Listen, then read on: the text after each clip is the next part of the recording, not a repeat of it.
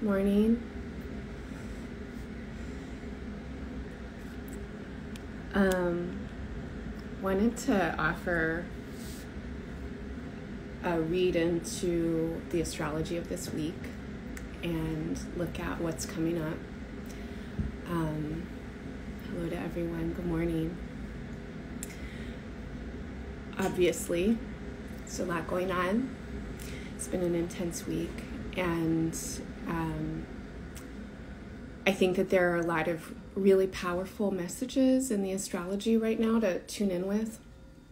Um, so before I say anything else, I want to say that um, I'm not a historian, I'm not a politician, and I don't know a lot about the situation in Russia and Ukraine. I probably know just as much as a lot of you.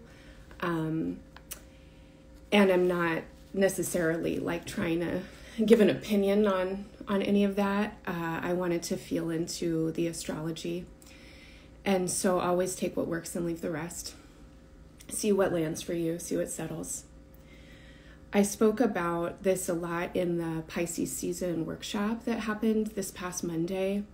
Um, but one of the kind of major occurrence and the major themes astrologically right now is an ongoing sextile between two outer planets, uh, Pluto and Neptune. This sextile has been forming since the 1940s, so um, since World War II. It will perfect in the 2030s uh, through the 2040s. And outer planet transits uh, take a really long time. So, this is a 100 year transit, basically. It's in application. Uh, that means that it's forming, it's, it's gaining strength since the 1940s. There have been periods of time when the sextile perfected already. Um, and currently, Neptune and Pluto are just within um, five, four to five degrees uh, of each other throughout this year. So that's a pretty good orb of influence, um, as we say in the field. Um, and again, these outer planet transits are descriptions of the the collective current. They are era defining um, energies, and their transits are so long that they comprise uh, major influences for any of us in our personal lives. And when we're reading into astrology for ourselves and we look at what the outer planets are doing, we have to consider the ways that we as individuals are shaped by our conditions, um, our social locations, our bodies, our families, our cultures, the countries that we live in, and then, of course, what's happening in the era, in the time, um, because this is going to hugely, right, affect our lives. Um, you could have the basically the same chart that you do now and be born in another place in the world, right, or another period in, in history, and your life would be drastically different um, because we're not here just alone. We're here participating in the unfolding everythingness, and that's part of what astrology speaks to. Um, so in this sextile, we have these two outer planets, and the outer planets, um, when you read into astrology, and especially with Pluto, you'll often get kind of horror stories, you know, and they they can represent really big, scary themes and the inevitability of change and the inevitability of destruction or something like this. And so Pluto does have a symbolism of a death force. And I want to say that there um, there is a positive death force, right, that equals um, uh, fertile decomposition, right? The death forces of uh, that, that we find in the natural world that are part of the continuity and the cyclical nature of life. And then there are negative death forces, brutality and destruction, the death forces that humans um, internalize and impose upon one another. And as our societies have grown and as we have moved into the 21st century and um, we have the technologies that we do, these death forces have become institutionalized, right? And so um, some of you might be familiar with uh, this framework of the four I's of oppression. I learned this from my friends uh, Michelle and Ramon Gabrieloff Parish. But they talk about the four I's of oppression always being interwoven and overlapping ideological, institutional, interpersonal or interrelational and internalized.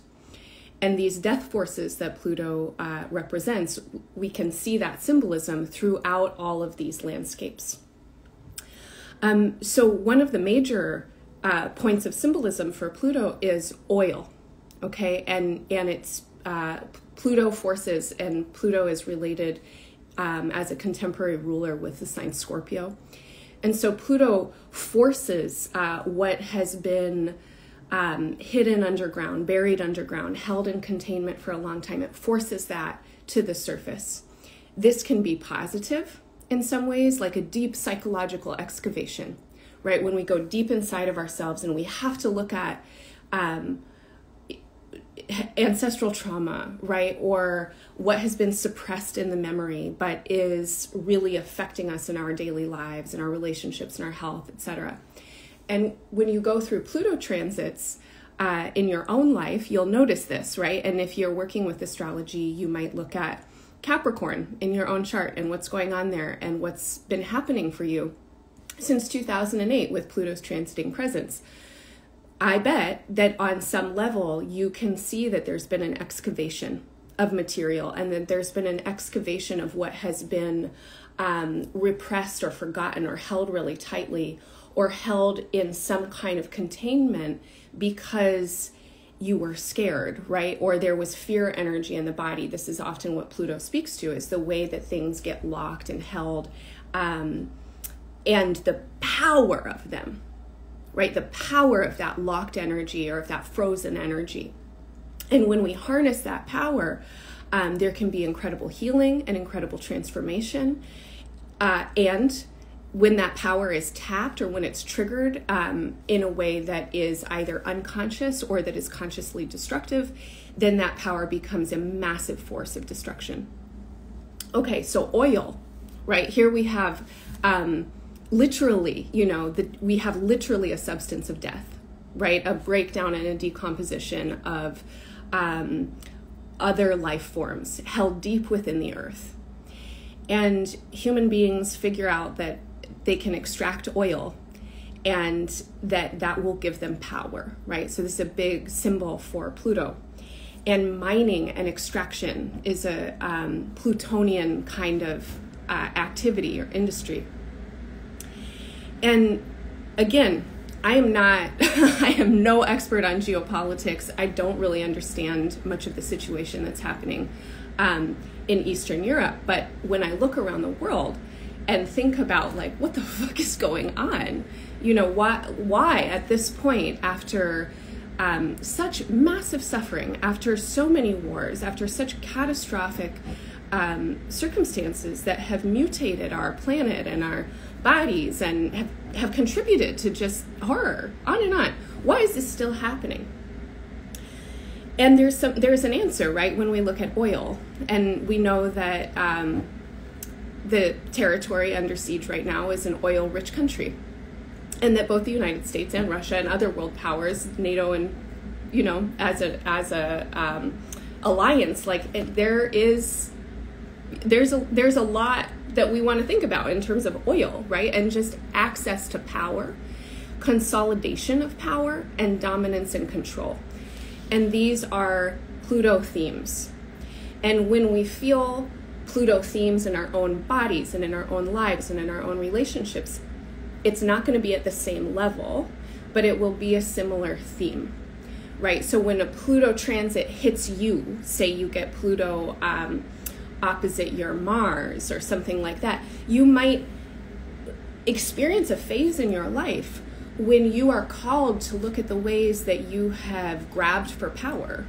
And maybe your grab for personal power happens emotionally, right? And um, uh, or maybe it happens through the way that you work really hard or the way that you uh, punish your body and want it to look a certain way or function a certain way or something like that and so again we've all internalized um, oppressive ideologies right? And the continuous messages of the institutions that that something is wrong with us right? Because this is how oppression works. Um, and in these symbols with with pluto's symbolism to dominance and control, we also have symbolism because Pluto is moving through Capricorn of military, right? Militarized um, uh, readiness for conflict, right? Armament, right? Being armed for something. Uh, Capricorn rules the structure.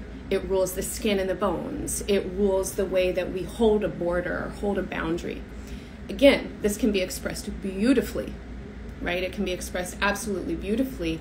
Um, when we look at the the borders that the earth forms over time, right, like basins of lakes or uh, groves of trees that are centuries old, right, and the strength in the bark of the wood, or when we look at relationships that are built over time, rooted in trust, and the boundaries of those relationships become fortified. There's a lot of integrity with them. We can lean into um, the, the safety of those spaces, right? These are beautiful representations of that Capricorn instinct. But again, unconscious or consciously destructive um, manifestations of this energy turns into border wars. It turns into militarized conflict, right? And the instinct to um, assert oneself in ways that lead to a perpetual state of war, right? Because there's not listening, there's not sensitivity, there's not that balance in the Cancer Capricorn axis where there's um, tenderness and feeling and emotional intelligence. Um, so I wanted to kind of think into uh, some characteristics that I've been studying um, and these are the characteristics that are uh, uh, white supremacist characteristics, right? And there's a um, document you may have seen in your life that was written in the 90s uh, called The Cultural Characteristics of White Supremacy. That document has been turned into a website. I think it's called uh, whitesupremacycharacteristics.org. I'm pretty sure if you search it, you'll find it.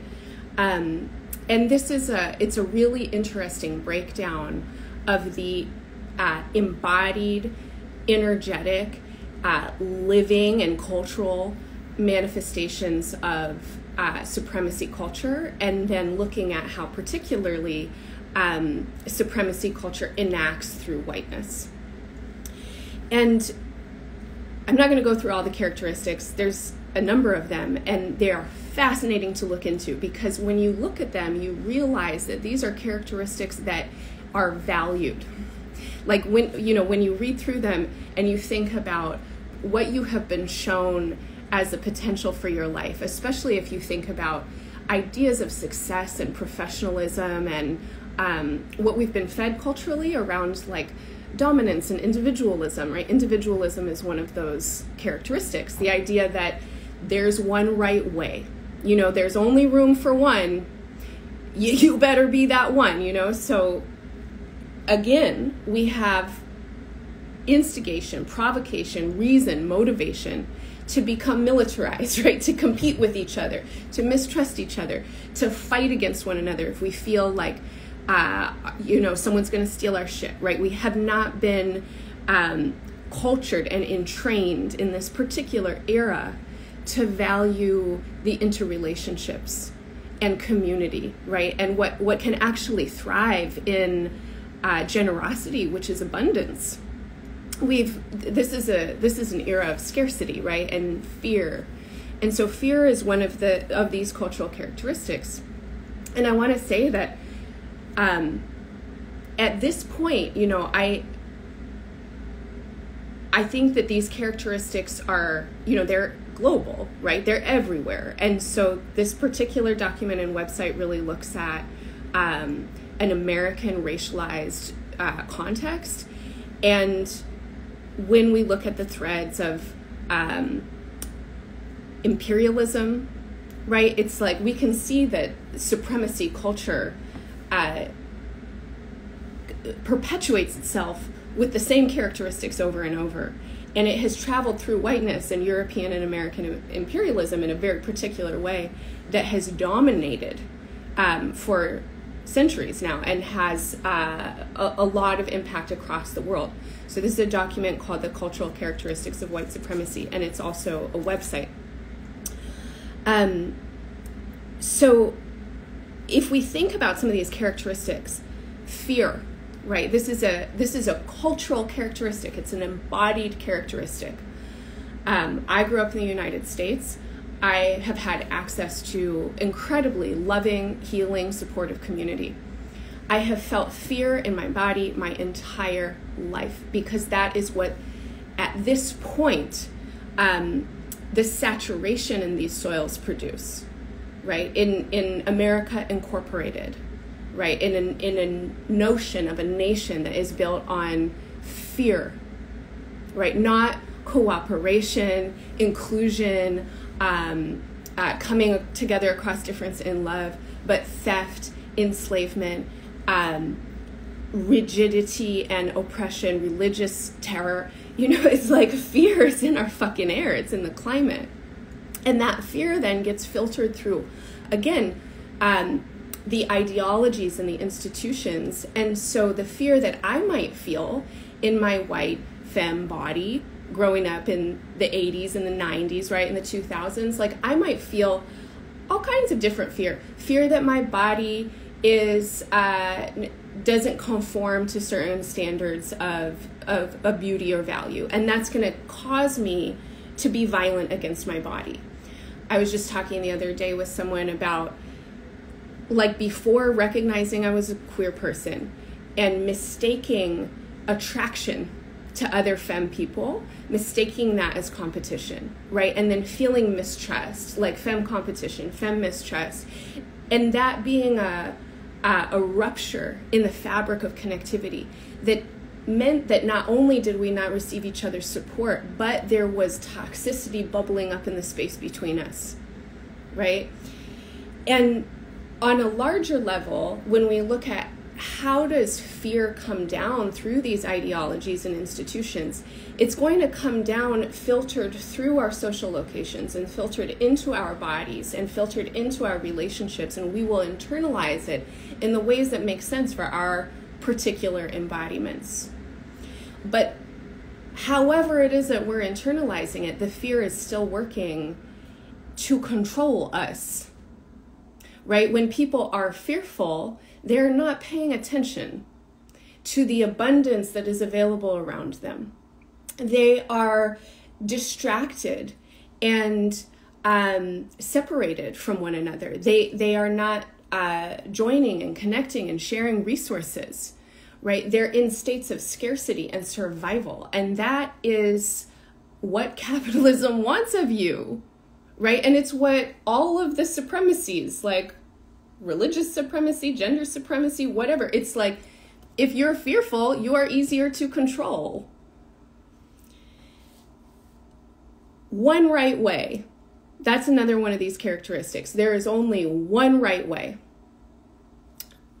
Only one God, only one way to the top, only one right way to wear your hair, only one right way to have a family, only one right way to love.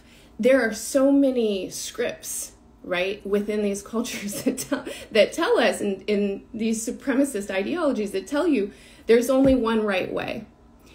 Meanwhile take a pause right like step outside of the human context and look around at the environment and the earth is uh, infinite biodiversity constant adaptation and evolution the earth does not have one right way the earth has an infinite right ways. Everything is a possibility. Every interaction, every moment of connection opens a new possibility.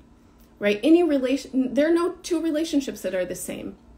So these ideas of one right way, of of fear, the urgency, right, that that fills our bodies when we are in survival modes. Um, this is what's kind of coming up for me as I'm responding and trying to metabolize what I'm reading in the news right now.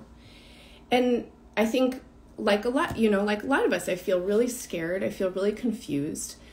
And I feel so sad and enraged that my entire life, this war has been going on.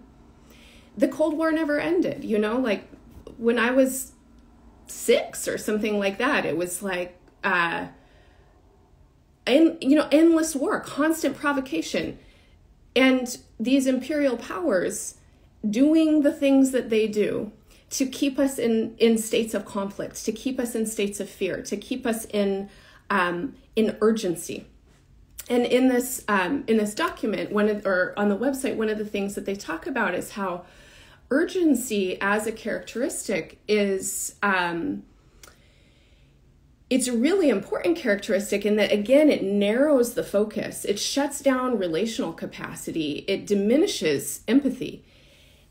But there is no urgency for peace right? There's not urgency for justice within these systems and so urgency gets really confused and if you're waking up at five in the morning because there's bombs dropping in your neighborhood, of course you're going to be urgent to get the fuck out. And if you're across the world reading these stories, urgency, right? Adrenaline, fear, and stress hormones is going to rise up in the body.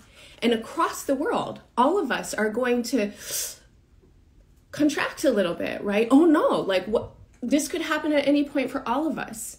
And a lot of people will take that energy and turn it into the individualism right? Because that's how these, char- these characteristics work together. And they function through all of these layers. So we feel urgent, and it's like, what do I need to do? How do I need to protect my family? What do I need to survive? And again, that's going to feed into a sense of conflict, right? This stress state. You might not feel like you are competing against your spouse, but if you wake up in the morning and these are the chemicals that start to arise in your body, I bet you're not going to have as much capacity to be present and loving and attentive to the actual relationship, right? People are in states of urgency, they're in spaces of distress. And after 20 years now of working with bodies, it is very clear that consciousness gathers around distress, right? When our bodies are injured, they go into holding patterns, into distress patterns, and the nervous system rewires around those patterns. And then it experiences a state of amnesia because our nervous systems are adaptive, they're evolutionary, right? They're moving towards the necessity at hand. If there's an injury, they go to protect it. Once that injury has healed or once the threat has passed, the nervous system is not getting the message because how it receives messages is through right? Like pay attention kind of moments. So once the injury has passed or, or, or healed or the, the threat has passed, um, on a body work level, what we have to do is then retrain the nervous system. We have to look for sources of support. One of my teachers says, um, support precedes movement, right? So if there's a place that's stuck and frozen or held into a fear pattern, we have to resource that space right? We have to give it love. We have to show it that there are other options and there is support, and then it can let go. Same thing interpersonally, right? Same thing in, internally. Um, when we're in states of fear, when we're in states of trauma and holding patterns, we have to find the sources of support so that we can let go. Now, in this day and age, the sources of support that most of us need are relational and someone just mentioned this connection to autoimmune disorders, and absolutely, there's a huge connection between states of stress and autoimmune disorders and chronic illness. And one thing that I'll say before I say something more to that is that these um, these states of stress and the the chemicals that they produce are addictive they're addicting in a particular way. And not to say that that we want to reach for them consciously. But when the nervous system is stimulated, when we go into spaces of high alert and high sympathetic activation, right, in the sympathetic nervous system, there's a quality of feeling alive. And if you experience that over and over, that your energy and your awareness and attention is peaked when your nervous system gets a particular kind of jolt or shock or activation, then in moments when you don't feel like that, what you're left with are the feelings underneath.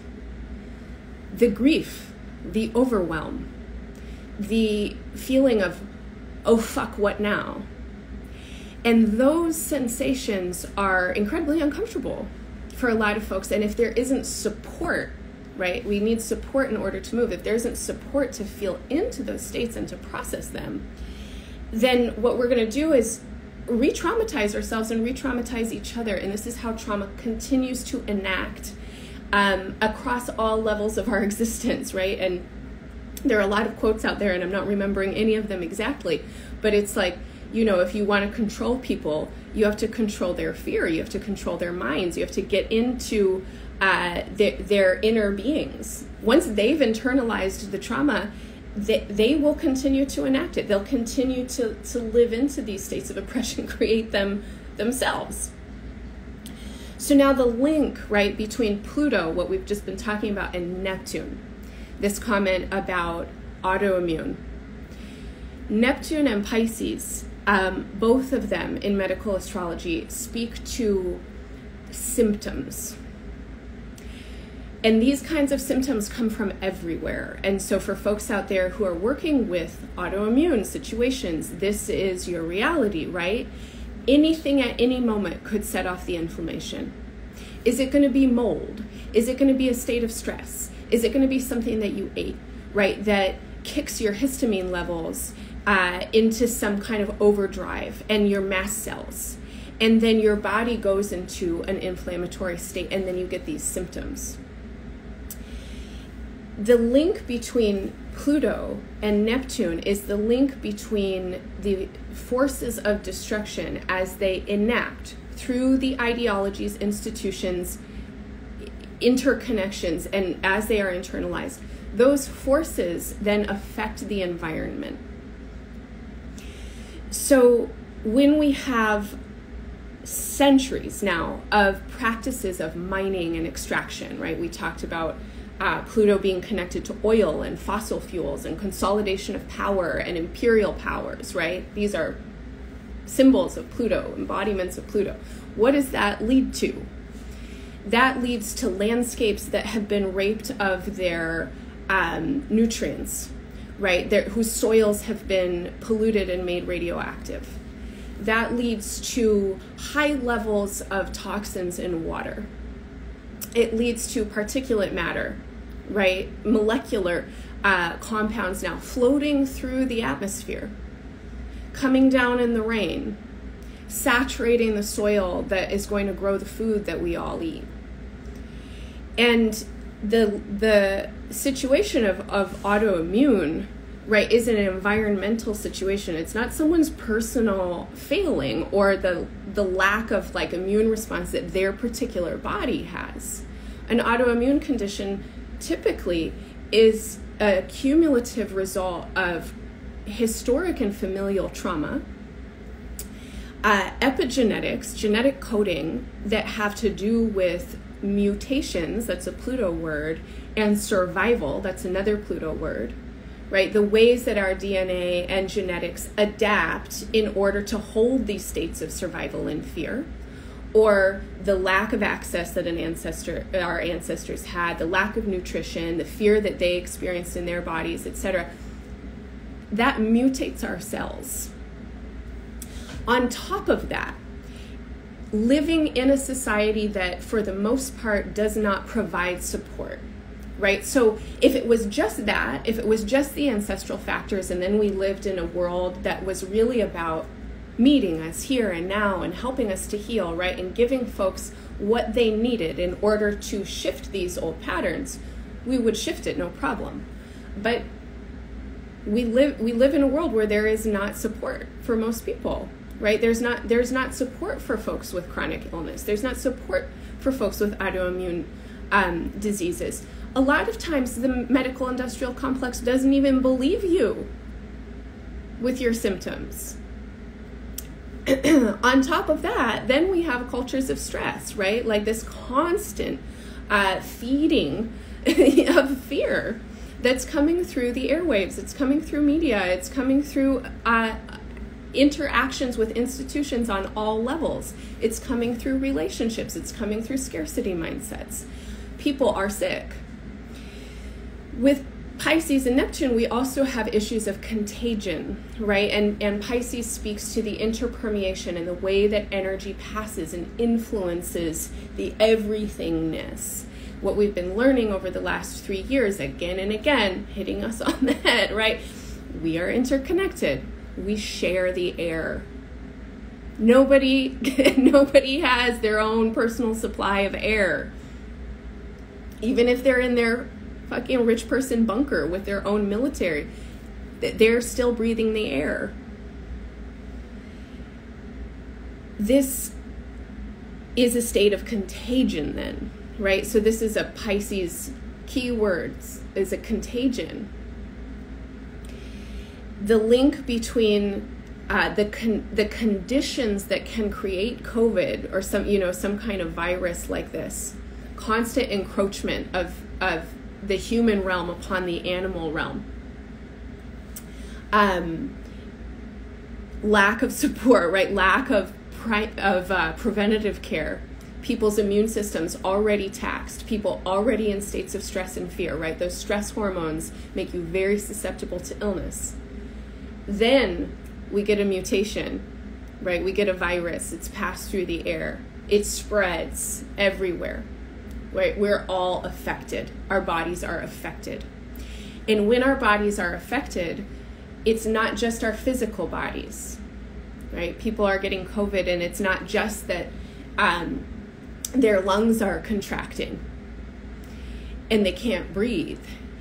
Uh, what's happening in the mental state? More fear, right? What's happening in the emotional state? More separation, isolation, mistrust, survival strategies. How the fuck am I going to get out of this? Worry about friends and family, right? Feeling of the lack of access and support. That's all emotional, mental, emotional, physical.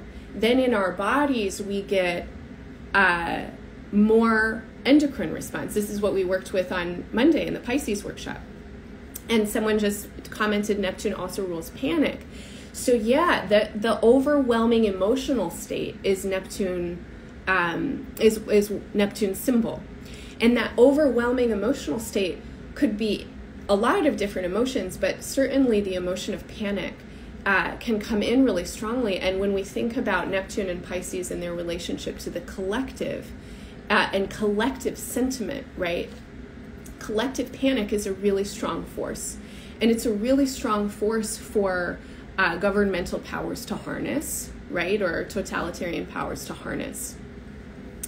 So the link between these these two energies, Neptune and Pluto, is a link between uh, the institutional, right, and the structural, and then what happens in the energy state. This is Neptune and Pisces.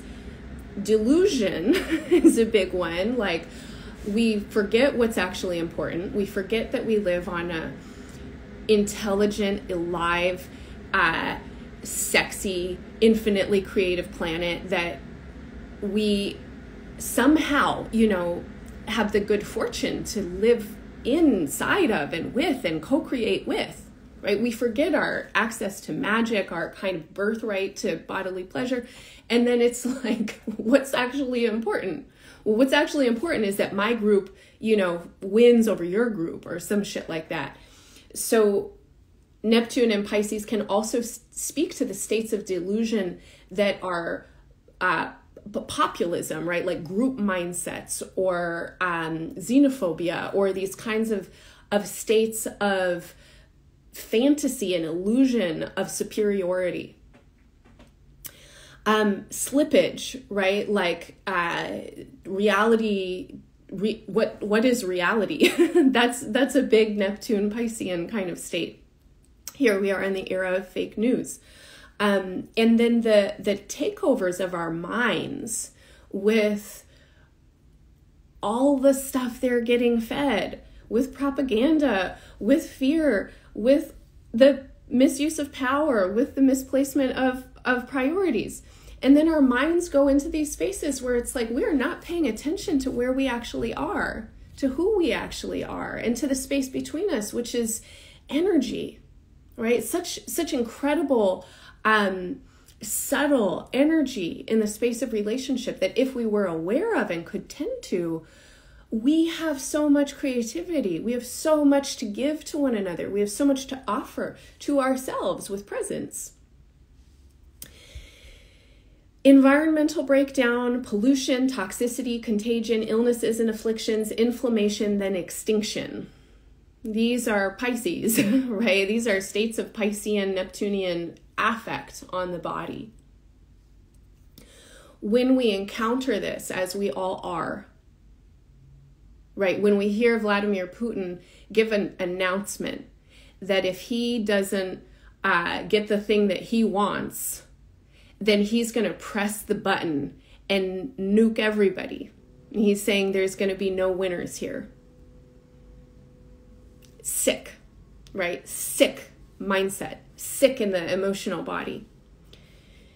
This is not the first time that some sickened world leader has has th- threatened the globe and certainly not the first time that sickness has affected individuals and groups of people with its absolute disregard for their lives right or happiness. And so this feeling of what do i do? right this this state of uh, insanity that has um, created these institutions that oh that that powers the militaries right? Like the the, the this constant world of war right? Any of us right in our soft small bodies like what do we do?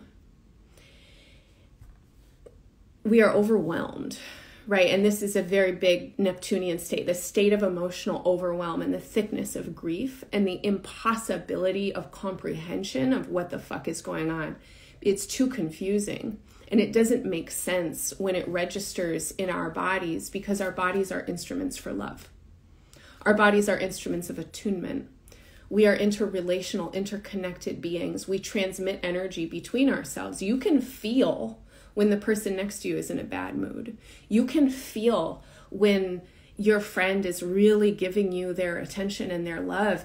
We are so sensitive. And when we live in worlds that are completely insensitive and that barrage us with assaults constantly, it's overwhelming. And that overwhelm then leads to a lot of things that are all Neptune related, right? So, grief is a huge one. There is so much unprocessed grief in our atmosphere. Centuries of grief, millennia of grief. It's these systems of dominance that have systemically wiped out uh, indigenous ways of knowing, right? That have systemically slaughtered the midwives and the healers and uh, the ones who knew how to speak to the earth and the ones who held communities together and enforced their individualist, paternalist, urgent, fear mongering fucking ideologies. Insanity. This is associated with Neptune and Piscean state, right? Mental dis-ease. It doesn't make sense. Nothing I do is going to change it or stop it. I might be able to survive, but maybe I'll never thrive. Like what what is the point of this life? Where do we go from there? You know, pe- people can break down, and that can lead to all kinds of different uh, mental and emotional states. There's a meme out there I think I posted the other day that's like, um, you know, some scene from a TV show, two people talking, and one of them is asking the other, Do you have a history of mental illness in your family? And then that person's answering, like, the term mental illness is rendered meaningless in the state of capitalism or something like that. And it's like that, where it's like, yeah, our mental emotional well being uh, is absolutely interconnected with the state of things, right? And the state of things is madness. Anxiety and depression. Um, and then what happens in in these states right these states of grief overwhelm insanity depression anxiety is our coping mechanisms and so this is a big one for pisces as well is the ways that we cope and a lot of us myself included it's like we have coping mechanisms that are um, just feeding into more of the same. And so those coping mechanisms can be addictions. That's a big one for Neptune, right? Um, in, in the Pisces state, or the reaching for some kind of substance or experience that numbs something or gives us a reprieve or lets us get the hell out.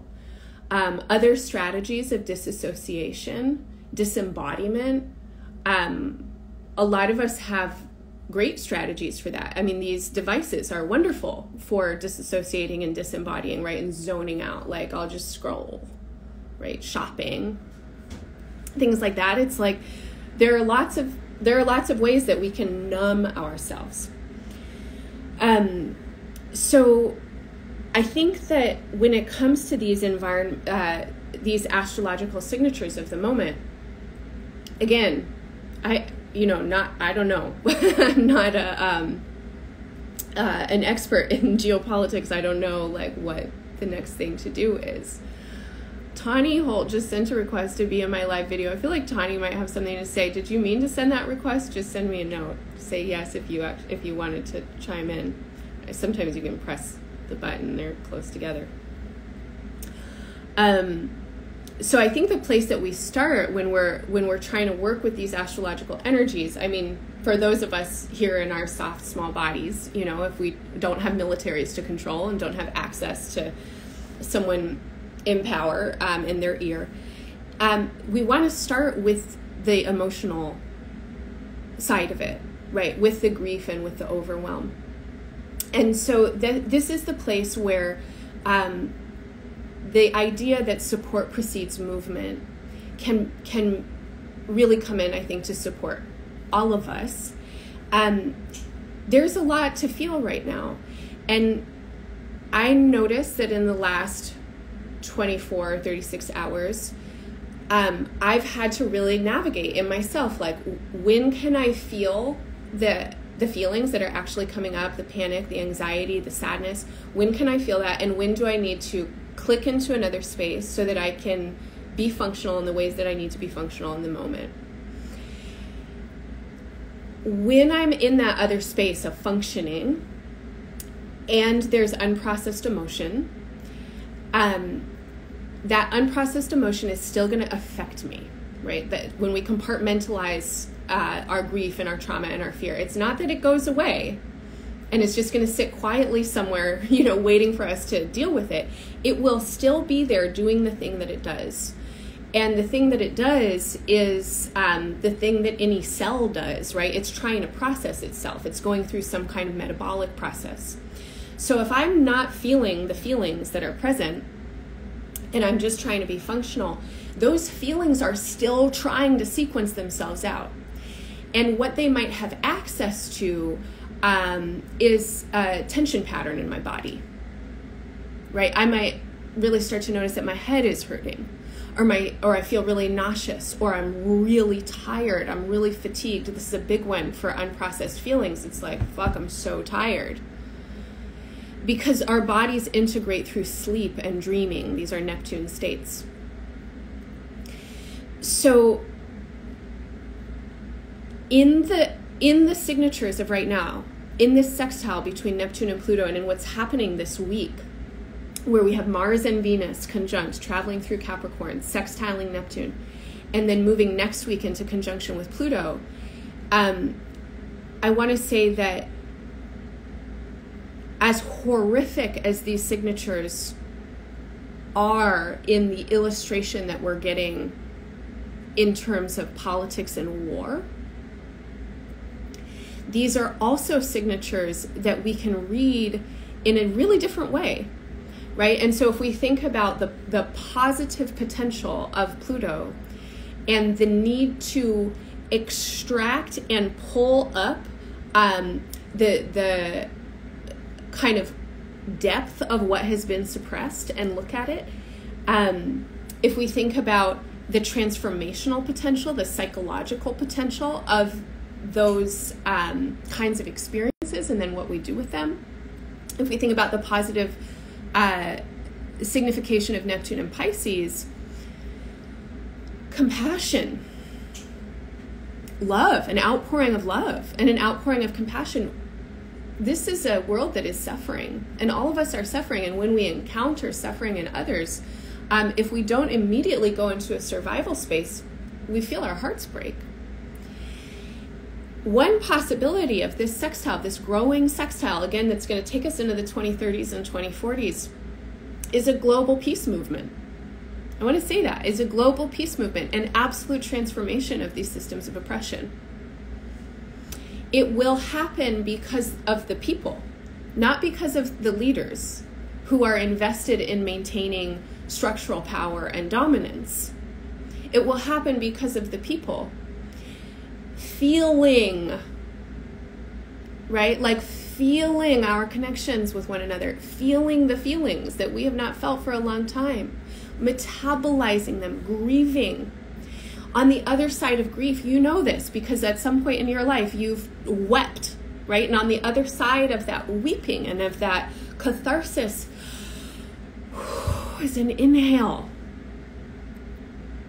It's an inhale, right? And then this profound sensitivity that enters the body where it's like, oh, God, you're grieving too. Right? When we feel our own emotions, we have space to hold space for others' emotions. So if we start here with the anxiety, with the overwhelm, with the fear, with the depression, with the coping mechanisms as they come up, you know, start in the most personal space. Feel what needs to be felt. You'll have to titrate. You have to go in and out of letting yourself feel things and then coming out. If you don't vacate entirely, right? If we don't permanently take vacation, um, then what that leads to is is more and more presence, more and more agility and capacity to work with our own emotional state and to recognize when we're getting triggered and when we're getting traumatized, and then what that does to the internal state and the interrelational state. Again, going back to those um, four I's the interrelational, the internalized, the institutional, and the ideological. We can personally work on what's internal and what is interrelational. When we work with our own internal state, right, we can start to shift it. That's going to shift the relational state. Pisces as an as an energy, right, and and Neptune as a signature is a description of love is everywhere. Love is in the small spaces, in these small spaces of interconnection, in the in the subtlety and the subtle uh, vibrations that arise personally and relationally. In this particular moment of heightened conflict and terrorized climate, any interaction, right, that we, that we can engage in that has a quality of peace, that has presence, that has love, that offers support, that allows some movement, right? Support precedes movement. If we don't have the support that we need structurally, we have to find it for ourselves and we have to give it to ourselves. And there is a lot of support available when we tune in to the subtle frequencies that Neptune and Pisces both speak to. Spend some time um, looking at a flower. You know, notice its in- intricacy, its delicacy, its uh, pr- profound embodiment of complexity. Spend some time, if you have a friend or or a critter leaning up against each other. Try and tune into that frequency, right? Move your awareness into the point of contact and then fill that contact with presence. And what you'll find there is love. You'll find support. You'll find peace in your body. It's not hard to access it when you pay attention. Neptune sextile to Pluto. Um, when we're able to connect with subtle frequencies, right, subtle energies, then what we can do is we can transmit. And in these spaces between, we can transmit.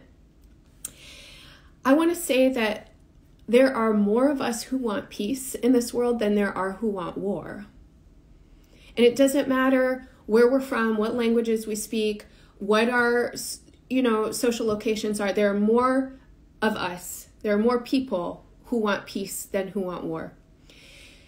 Now, the ideas that everybody has about peace might be different. And this is where conflict can arise, right? Because we live in a global paradigm that there isn't enough for everybody. Those are interstitial places, interrelational places where we have to build um, qualities of presence and listening, where we have to cultivate emotional agility so that we don't feel threatened by somebody wanting something different. right? Where instead, maybe we could get curious about how our different points of view could even create a new thing. Maybe it's not even about what you want or what I want. Maybe it's about what happens in the space between us when we really start to listen, when we really start to get curious about uh, what is living. Suffering creates more suffering, right? The world is suffering. This is a this is a planet in crisis right now, and all of us are affected people are affected in very different ways. Um, Prentis Hemphill, in a talk I heard them give, uh, said something so brilliant that trauma happens, right? Trauma exists. It's it's part of our lives. Like we're gonna, people are gonna die. People are gonna get injured. There will be catastrophes that happen. That's inevitable. But unequal distribution of trauma and the pushing of um, massive trauma onto certain groups of people or specific embodiments, that's oppression. And so, in this moment, right, in this moment of 2022, um, as we're tuning in with the frequencies, right, that we have access to in our own lives, um, when we can tune in with the remembering of suffering and the curiosity for each other around how are you suffering? not with this misplaced Piscean Neptunian savior complex. That's another Neptune keyword, right? Like, how are you suffering? I'll fix it for you. No. With curiosity, with subtlety, with sensitivity, with care, that is a huge amount of support. It's a huge amount of support to feel seen, to feel heard, to have your concerns taken seriously people with autoimmune know this, right? You know this after however long you've spent being gaslit by the medical industrial complex. If you find a practitioner who really listens to you, you probably wept.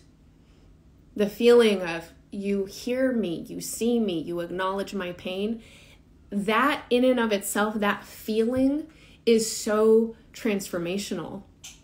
Because most of us in this world right we we are living in these institutionalized ideological structures of individuality. We get force fed ideas that it's up to you and you alone to deal with your problem to deal with your distress to deal with your pain to deal with your illness right? If if you have a problem that's your problem.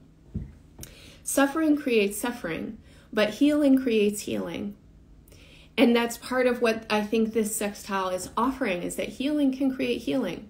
And while it might not be happening at the level of uh, the military industrial complex, right? It can happen in the bodies and in the individuals.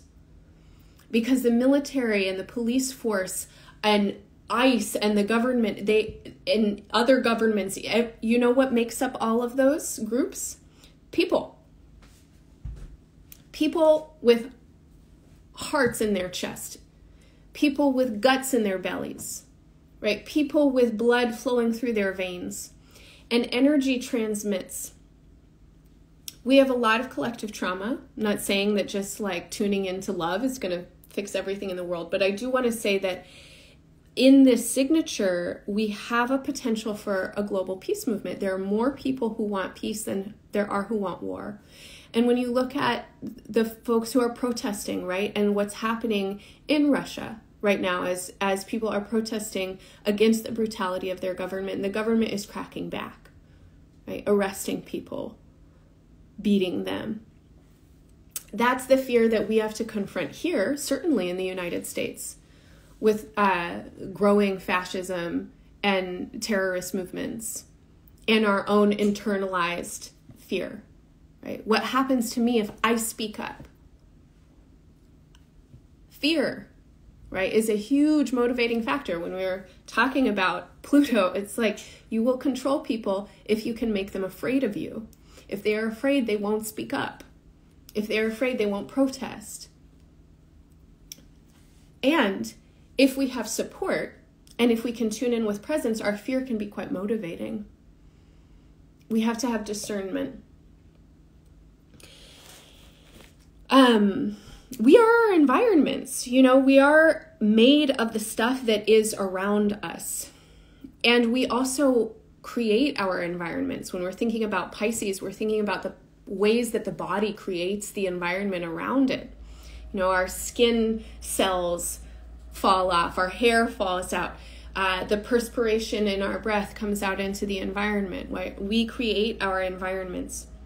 So there is a potential right now, and I think a lot of us are probably tuning into this, is that we want to do the opposite of what these dominant forces of oppression are telling us to do. If they're telling you to stay fearful and silent, then tune in with your heart and find your courage. If they're telling you that it's scarcity out there and there's only enough for, then give it away. If you have resources, give it away. If you have time, give it away. If you have love, give it away. Abundance thrives in conditions of generosity. Scarcity mindset does not lead to generosity, does not lead to abundance. When we share what we have, we've got plenty. Do the opposite of what the system is telling you to do. I know not everybody can realistically right now because you do need to eat and survive, but you know, there's a large movement right now of people who are stopping going to work. They're stopping business as usual. Because this feeling, this Neptunian feeling of like, why does it matter? Why am I going to keep waking up going to a job that I hate when I'm getting messages that within 10 years, maybe there's not going to be an environment that I can live in. Or when Vladimir Putin's saying that maybe in 10 minutes he's going to blow the fucking thing up. Stop going to work.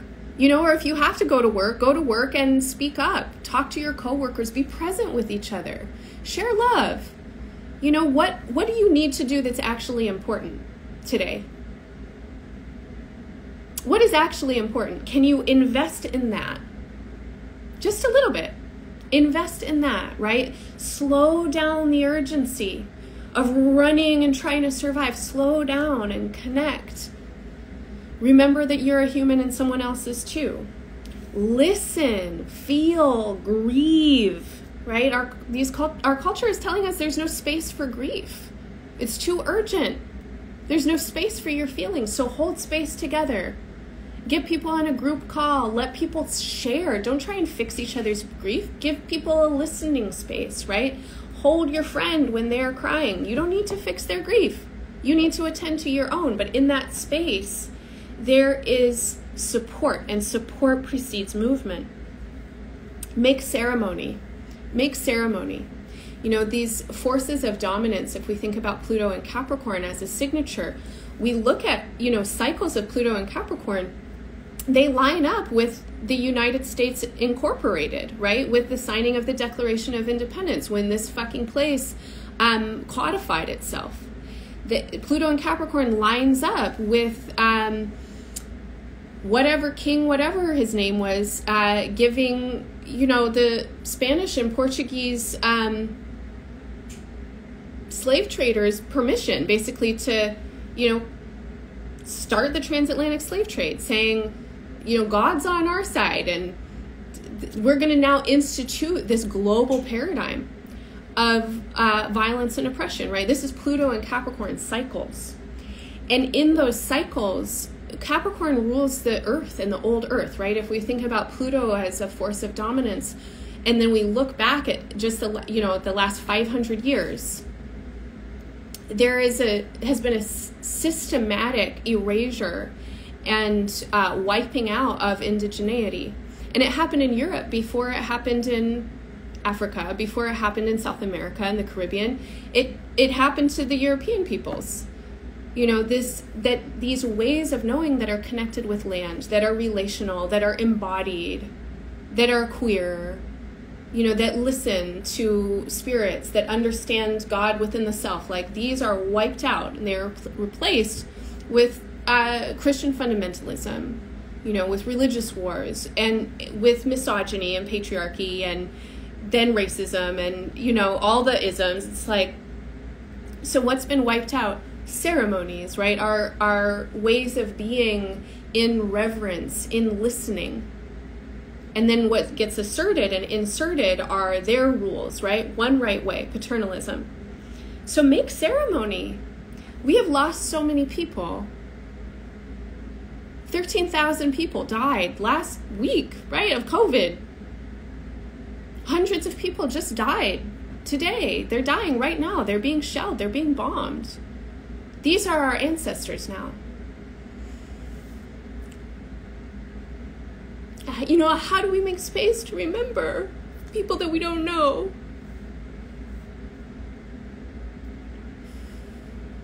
Make space in your day, you know, feel it. We have to feel what's been lost. We have to grieve it. We have to make space for that. If we don't do that, then the option that we have is numbing out and going crazy because that's what it you know that's what it does when we look at that Neptune signature If we don't feel the feelings that are there, we're going to go crazy. You know, we feel isolated, we feel depressed, we feel sick in our bodies. We can remember.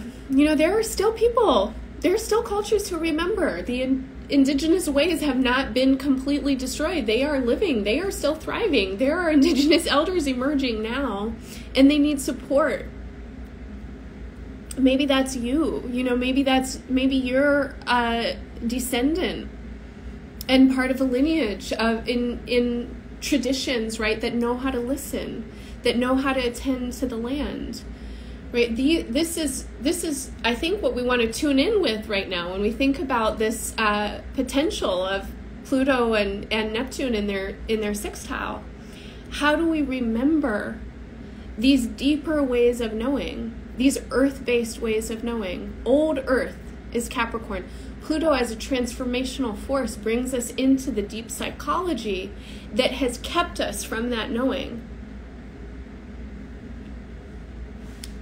Whether or not you are immediately descendant of, of people who know how to listen to the land, somewhere in your lineage you are. We are all, we all come from people who knew how to listen.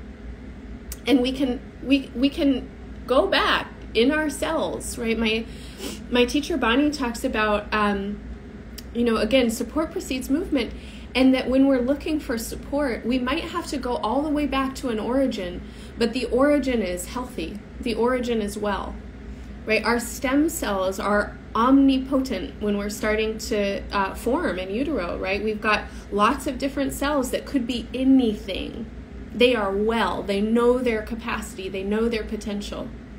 As our bodies form, they are moving in biological choreography that is well, that, that knows how to form into a life form, right? That is high intelligence, supreme intelligence. We have access to that.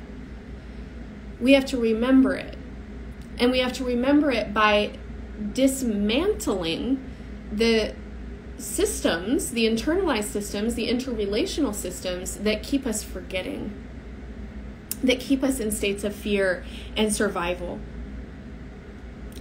Plenty of people, you know, plenty of teachers have said this like we have to lift we have to lift these chains off of ourselves and we have to dissolve them. We have enough of everything, right? We have the resources that we need in our own communities and in ourselves. And with you know, with Pluto, one word that comes up uh, when I think about Pluto is mutation. And I just want to take a moment to think about, like, on an imaginative level, because this is what Neptune and Pisces asks it asks for imagination. How might we mutate from here? given the abundance of chemicals in the water, given the uh, lineages of violence that we're coming from, that we're living in currently, how might we mutate in here? Like, what? What could possibly start to transform within us, within our ways of being and tending to the land and caring for each other that would incorporate everything that is present right? We're not asking to be uh, in in another place than we are. We got to start with where we are. How can we incorporate all of this and turn into some kind of future being that is a different iteration, right, of what humans have been for the last several hundred years, um, at least within this global paradigm of fear and oppression. if we can tune into spiritual connection, if we can tune into uh, the the expansion that is possible in a moment like this, in a moment of profound fear, because I think that that is part of what comes through in these moments of profound fear is that we go, it is not business as usual. What is really important? You know, when we receive a big shock to our systems, if we're not going into numbing out, then we get expanded in some ways. When we can tune into that, how might we start to reform ourselves, to shift in subtle ways, right? To adapt and evolve, to mutate in new ways um, that build more support. Support precedes movement. Um, the last thing that I wanted to say is that this week, uh, Mars and Venus are conjunct. Like I mentioned, they're traveling through Capricorn. They are working with the asteroid Vesta.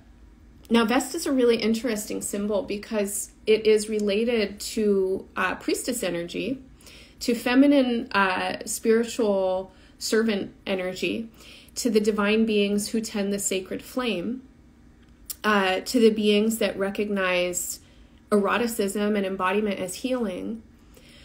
And Vesta was appropriated, um, as as they all were, as all of the goddesses were, um, and the gods. it was appropriated and put to use for the military. And when you read about Vesta, if like you look up the Wikipedia article, you'll read about how, um, and I forget the years and I forget the exact um, correlations, but one of the Alexanders, one of the conquerors in Greece, like one of the Alexanders, um, you know, there there'd been the conquering, there'd been the wiping out of indigenous symbols, and the city was under siege, um, and it looked like they were going to lose. And his advisors or something said, "It's because you don't have the goddess here," and go go read the Wikipedia article. There's more there that I'm forgetting, but so they erected a temple to Vesta, and then um, they won the war and and so I want to kind of think into Vesta as this um, symbol that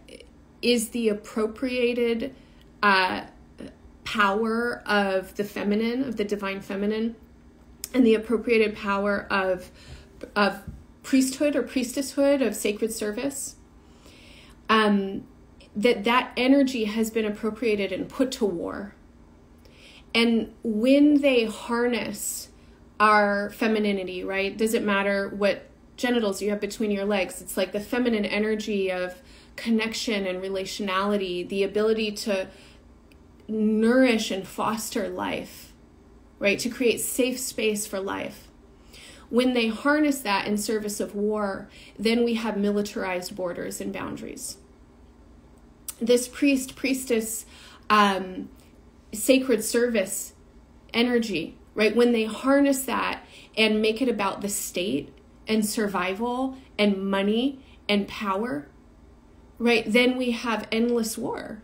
We have lifetimes of war. All of us on this call, our whole lives, the world has been at war. And plenty of people on this call have probably been in proximity to it, either directly or through family members or our whole lives right? And it's not new, it's not new with us. We can reclaim that energy. Okay, so I think working with astrology for me uh, often is a practice of reclaiming the symbols for myself and asking, How do I want to tune in with this embodiment? With Vesta, I want to tune into the tending of the sacred flame inside of myself, my own life force. What brings you joy? What connects you with life? What helps you listen to your body? What helps you tune in with your heart? How can you tend to the sacred flame in relationship? Right? Cultivating presence. The space of relationship is so nourishing, potentially, right? When we're really present with each other, that that contact right allows us to know ourselves. It allows us to grow. That feeling of support makes so much possible. Um i also want to just talk just for a moment also bring in vesta's association with erotic energy. That vesta at least as a symbol as a temple priestess is related to sacred prostitution. That's not the word for it either but but the working through the body and working through um, eroticism and sensuality and sexuality. These were priestesses that would work with warriors who came back from the battlefield traumatized. And they would help them come back to life by remembering pleasure. And so, in this moment, as I think a lot of us are kind of in shock, trying to think about what do we do, what do we need to do, what's going to happen, how do we help, there's a lot of answers for all of that. And I want to encourage all of us and me to remember the subtle space in between us and our interconnections, to hold in our mind's eye and in our heart the possibility for a global peace movement. That in the next 10 to 20 years, there may be a radical transformation of this world that is a mutation that arises from the remembering and the metabolizing of the trauma that is existent and that turns into some new way of being. A new way of being that is profoundly attuned, that harnesses the technologies that we have built in ways that serve the earth, right? That serve the sacred fire. Take space to be in pleasure as much as you can right now and remember that energy transmits. Okay, so when you come into contact, when you are in a space of knowing your own heart, of knowing your own capacity for love, of, of moving into your um, subtle body in a way that is presence, you bring that into the space of relationship. The Pisces season workshop that I taught on Monday has a meditation. Um, I'm going to put it out I think, for the new moon um, here. If you want to access that earlier, go to my website, embodiedastrology.com. Um, in the workshop section, you can find the recording of the workshop. It's sliding scale, and there are also unlimited scholarships. So if you don't have cash right now, you just click a button and you'll get a code and you can get the workshop. Um, and there's more there about working with your chart, about working with these energies. And there's an endocrine meditation that is really powerful. It's really powerful practice um, that helps you tune in with inner body states that can transmit. Thanks for coming to my TED Talk. Um, I'm wishing you peace in your heart today. I'm sending you love. I can't see your faces, but I know that you're there in your bodies.